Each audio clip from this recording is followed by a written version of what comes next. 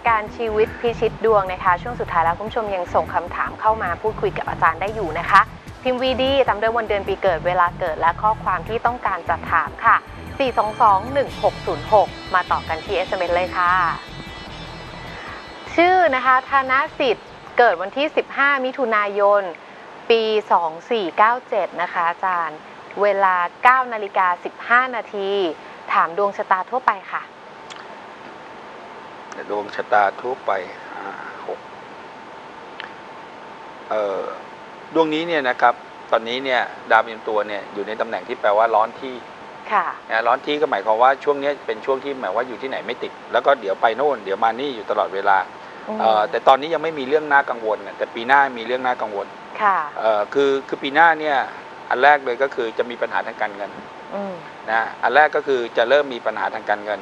ส่วนเรื่องที่สองเนี่ยก็คือว่าสุขภาพจะอ่อนลงอ่อนแอลง ค่ะ แต่ยังไม่ป่วยนะครับค่ะ เอ่อการเจ็บป่วยจะเกิดขึ้นหลังวันที่ 9 กันยา60ค่ะ นะแต่ว่าปีหน้าสุขภาพจะเริ่มไม่ค่อยดีนัก แต่ยังไม่ถึงขั้นป่วย ค่ะ แล้วก็ต้องย้ายย้ายที่อยู่ไม่ติดเหมือนคนชีพจรรองเท้าค่ะนะแต่สิ่งที่ต้องระวังคือการเงินใน 2 ปีข้างหน้าเนี่ยมีภาระการใช้จ่ายสูงอืม นะครับก็ดูแลสุขภาพก่อนแล้วก็เอ่อค่ะ ใช้จ่ายระมัดระวังนิดนึงค่ะนะครับ นะท่านต่อไปค่ะอ่า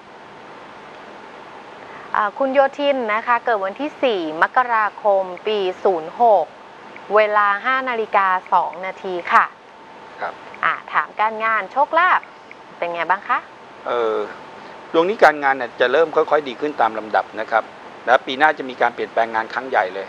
อืมนะครับ แล้วงานค่ะต้องไปหากินในถิ่นไกลคือหมายต้องวิ่งวิ่งวิ่งเต้นวิ่งโอวิ่งเคติดต่อไหมในคะถิ่นอาไกลจารย์ก็โอเคครับแต่ว่าก็เหนื่อยหน่อยอืมเอ่อดวงเนี้ยช่วงนี้จะไม่มีความสุข ช่วงนี้ค่ะจะไม่มีความสุขเหมือนเครียดอยู่ตลอดเวลา แล้วก็มีเพชเชอร์จากแรงกดดันรอบๆตัวหค่ะมายว่าคนมาพึ่งพาใส่เยอะอืมและเครียด แต่ว่างานจะเริ่มค่อยๆดีขึ้นนะการหาค่ะเงินก็ดีขึ้นอืมแต่ว่าอาจจะมีการขยับขยาย แล้วก็เดินทางบ่อยขึ้นในเรื่องงานค่ะโชคแต่ก็ลาภดีครับโชคลาภก็ดีครับโชคลาภก็ดีเอ่อโชคลาภดีครับงานดีแต่ว่างานหนักนะเครียดแล้วก็ค่ะไม่ค่อยมีความสุขม เอาเป็นว่าผมว่าคุณรู้จักปลดปล่อยอารมณ์นะรู้จักรีแลกซ์พักผ่อนบ้างค่ะนะครับแล้วหาความสุขส่วนตัวบ้าง ค่ะผมว่าชีวิตมันก็ไม่น่าจะล้มเหลวอะไร เพราะว่าตอนนี้ก็โชคดีแล้วครับค่ะ บ้านเลขที่ 60ทับ32 ค่ะ เอ่อบ้านเลขที่ 60 เนี่ย บ้านเนี้ยเป็นคนที่เหมือนกับว่าคนอยู่เนี่ยจะเป็นคนพวกคล้ายๆ เครียดไม่มีความสุขที่กังวล อืมแล้วคนในบ้านนี้มีลักษณะแปลกอยู่อย่างก็คือว่าบ้านหลังนี้ใครอยู่เนี่ยมักจะเป็นภูมิแพ้ค่ะ นะครับภูมิแพ้ตลอดหรือไม่มีปัญหาเรื่องผิวหนังตลอด ค่ะ นะครับ และทับที่ทับ32สามสองแปลว่า เป็นคนที่เขาเรียกวิตกจริต คิดมากเนี่ยคิดมากเกินไปอืนะม แต่ว่าเป็นคนคิดแต่ว่าไม่ได้คิดไม่ดีนะฮะค่ะเป็นคนที่เขาเรียกว่ามีปัญหาสลึงคิดเป็นร้อย อืคือมีปัญหานิดเดียวแต่คิดมากไป ค่ะแต่ว่าชีวิตบ้านหลังนี้อยู่แล้วก็มีความสำเร็จค่ะนะแต่ว่าคนอยู่มักเป็นภูมิแพ้กัน นะครัคะบอะท่านต่อไปค่ะ คุณธนชัยค่ะ เกิดวันที่ 3 พฤษภาคม ปี 2497 นะคะ เวลา 18นาฬิกา12 นาที ออกจากงานนะคะอาจารย์ออกมาช่วยคนโดยการพยากรณ์ด้วยฌานจะไปได้ดีไหมอ๋อแหมจริง ๆ นะ ดวงนี้เป็นดวงที่เหมาะกับอาชีพที่เป็นหมอดูอยู่แล้ว ค่ะ เพราะว่าดวงนี้เนี่ยเอ่อประเด็นประเด็นแรกเนี่ยดวงนี้เป็นดาวเกตกลุ่มลัคนา ดาวเกตนี่แปลว่าสิ่งศักดิ์สิทธิ์แล้วแปลว่ายาแล้วแล้วก็แปลว่าเซนส์และดวงนี้แปลว่ามีความสำเร็จจากการให้คำปรึกษา หรือเป็นค่ะที่ปรึกษา เอ่อผมว่านะอาชีพนี้ก็มีความสำเร็จนะ แต่ว่าจะเริ่มมีคนศรัทธาคุณน่ะก็เป็นปี 60 ไปแล้วค่ะนะครับหลังวันเกิดรออีกปีนิดนึง60 รออีกสักนิดหนึ่งจะมีคนศรัทธาขึ้นดี แต่ผมผมเตือนเรื่องหนึ่งนะครับเอ่อถ้าคุณจะทำอาชีพแบบนี้เนี่ยสิ่งที่คุณจะต้องระมัดระวังนะครับ ก็คือว่าเอ่ออย่าใช้อารมณ์จนเกินไปค่ะนะแล้วก็อย่าจิตใจคับแคบเห็นแก่ตัวเองมากเกินไปค่ะ นะเพราะว่าอะไรรู้ไหมฮะคนที่มีดาวเสาร์กลุ่มรักอะมักเชื่อมั่นตัวเองสูงเกินไป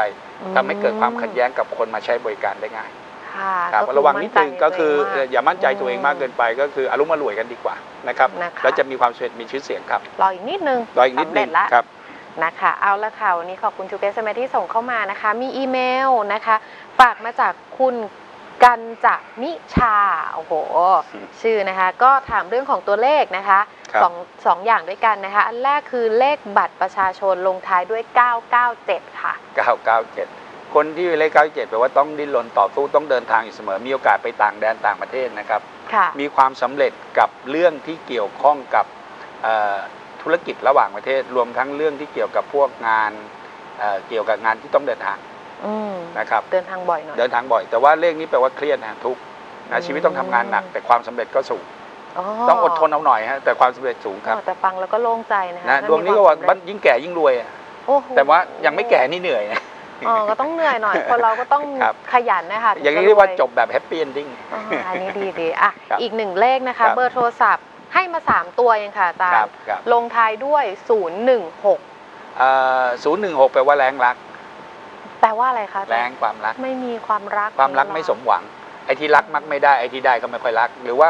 รักอย่างหนึ่งต้องได้อีกอย่างหนึ่ง แต่ก็ไม่ได้ไม่ได้ได้ที่ไม่ดีนะฮะเพียงแต่ได้ที่ไม่ถูกใจค่ะก็ผมว่าก็ได้โอเคอะอืมแต่เลขนี้ดีทางด้านการเงินการเงินดี นะคือหาเงินคล่องนะค่ะ แต่ว่าไม่ค่อยได้อะไรที่ถูกใจค่ะเท่านั้นเองอ้าวครับก็สัมพันธ์กับเลขบัตรนะก็ถูกจบสัมพันธ์ท้ายกัน happy ใช่ก็จบด้วย happy นะคะครัเอาบละค่ะคุณผู้ชมก็สามารถส่งคำถามผ่านมาทางอีเมลของเราได้นะคะ อีเมลนะคะที่อยู่ miracle underscore ch at hotmail com หรือว่าถ้าไม่สะดวกนะคะ สามารถเขียนจดหมายเข้ามาได้แล้วก็ใส่รายละเอียดเยอะเท่าไหร่ก็ได้ก็อาได้จารย์บอกครับตอบให้หมดเลยต่อไปหมดเลยนะคะครับที่อยู่ของเออรายการชีวิตพิชิตดวงนะคะ 27 ทับ1หมู่ 4 ตำบลบางม่วง อำเภอบางใหญ่ จังหวัดนนทบุรี รหัสไปรษณีย์11140 และสัปดาห์หน้าอาจารย์แอบกระซิบมานะคะว่าเราจะมีความรู้เรื่องของการตั้งศาลพระภูมิถูกไหมคะอาจาใช่ย์ครับ เดี๋ยวจะพูดเรื่องการคือคนชอบถามเรื่องพระภูมิเดี๋ยวเราจะมาอธิบายกันครับ อืมนะคะเป็นว่าเอาเป็นว่าอังคารหน้านะคะ เวลา6โมงถึง1ทุ่มครึ่ง กลับมาพบกับรายการชีวิตพิชิตดวงได้ใหม่วันนี้แพรและอาจารย์วิเชียนวรุณพันธุลักษณ์ลาคุณผู้ชมไปก่อนนะคะ สวัสดีค่ะ